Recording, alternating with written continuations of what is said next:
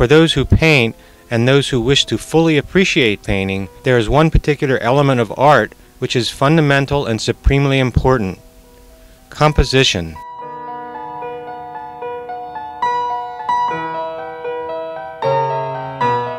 Composition is one of the most valuable tools in the artist's repertoire of methods which brings order to painting. Composition can make a painting feel solid as a rock or as dynamic and volatile as an earthquake.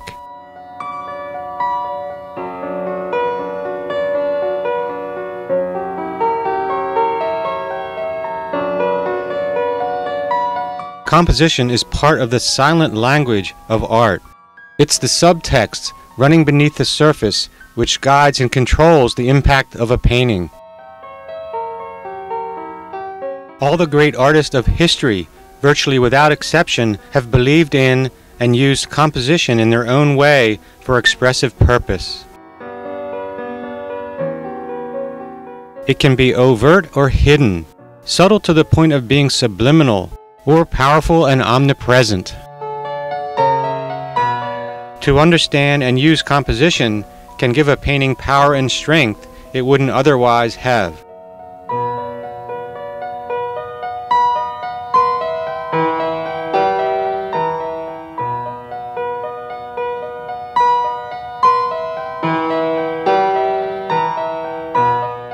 After inspiration and expression, composition ranks as the single most important factor in art.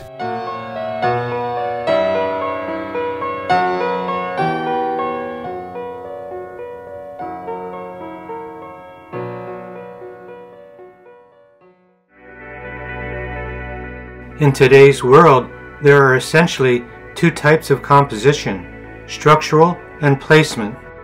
These are the tried and tested methods of composition and are the ways that most artists compose or organize their paintings. Yet in the Renaissance era, when composition in painting began, many artists organized by light and not by structure or placement.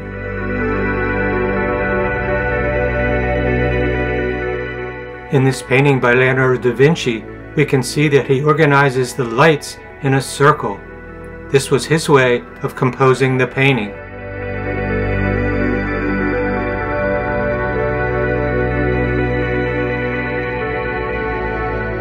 And though some artists today may use this approach, the more common approaches are to organize using the structural method or the placement method. The structural method to composition, as its name applies, has to do with creating a structure Essentially, this has to do with using the edge of the painting to complete the shapes in the painting, to organize by shape, in a sense like making a puzzle where all the pieces fit together, with the perimeter of the painting completing the shapes.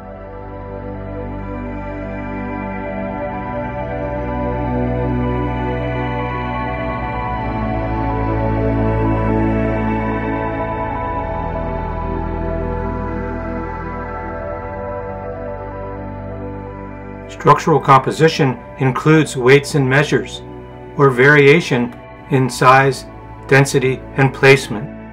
Placement composition has to do with just placing things in the painting, placing shapes in the painting, and not connecting to the edge. There are essentially two ways of attending to placement composition all over or equally spaced placement or varied placement or unequal or rhythmed placement of shapes. This painting has rhythmed or varied placement. This painting by Jackson Pollock has equal and all-over placement. If we look at it another way, we can think of the perimeter of our painting as being four edges. These edges define the space of our painting. This space, defined by the edges, inherently lacks structure. It's just space. If we place a form in the area, it creates energy and direction, but not structure. It's simply a form, an energy, a direction connected to the edge. In terms of creating structure, it's incomplete. But when that energy is connected to another edge, it divides the space into two areas, which could be seen as separate yet sharing the same boundary. The two areas could be divided and stand on their own as independent shapes. When we create completed forms by connecting from edge to edge, we activate the space and turn it into shapes. We turn the space into activated dovetailing shapes. Our space becomes a divided space or a completed structure.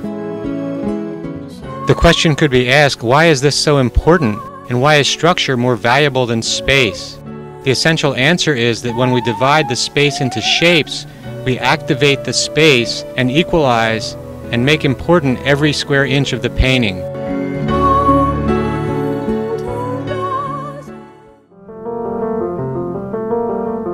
A clear example of structural composition can be seen in this painting by Winslow Homer. Notice how the figures sit in space and the horizon crosses behind, connecting edge to edge.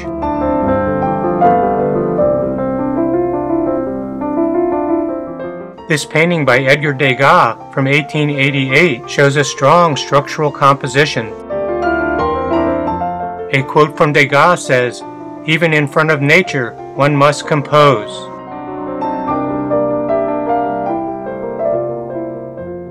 This post-impressionist Pierre Bonnard painting from 1913 exhibits another strong structural composition. There are both geometric and biomorphic forms. Bonnard said, A well-composed painting is half done.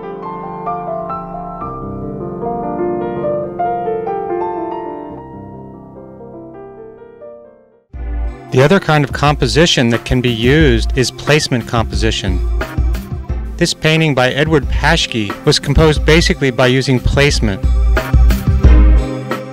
Of course, things are not always so cut and dry. There are lots of gray areas. This painting by Thiebaud has placed forms dovetailed together with background structure. It's a combination of placement and structure together. This painting by Jasper Johns, describing a map of the United States, has all over pattern with essentially equal energy. If you look carefully, you can see some change in the all over equalness. However, these changes are relatively minor, and the painting basically expresses very dynamic and active but equal energy. It's a placement composition. This painting by Juan Miró is an example of placed rhythmic energy. But notice how he's used soft structured shapes in the background.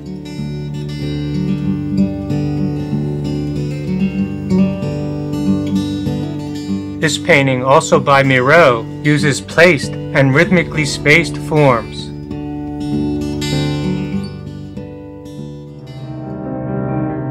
Notice the sense of rhythm in this Henri Matisse placed and rhythmed formed painting.